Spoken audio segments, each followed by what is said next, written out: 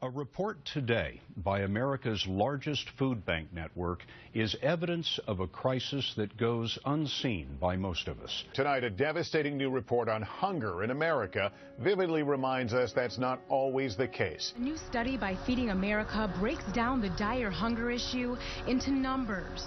This analysis gives us a sort of snapshot of what's going on in families and households across the nation and here in Georgia. Feeding America says one in seven Americans is receiving food assistance, and the percentage is even higher for veterans. Today, 20% of those receiving food are veterans. The number is even higher for those currently serving. It's the most comprehensive hunger study ever done in the U.S.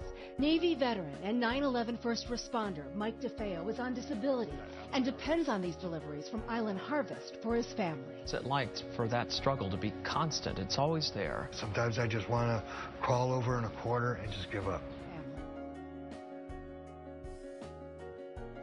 People of all types are falling on hardship.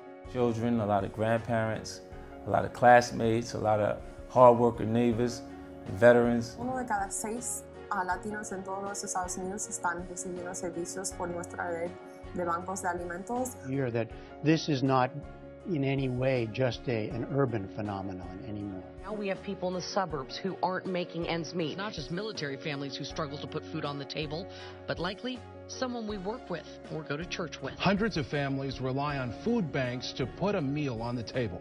Feeding America is very focused on building our produce program because that's going to be our answer to rounding out nutrition. She's now able to get a free daily meal and fresh produce through a charity that works with the Low Country Food Bank.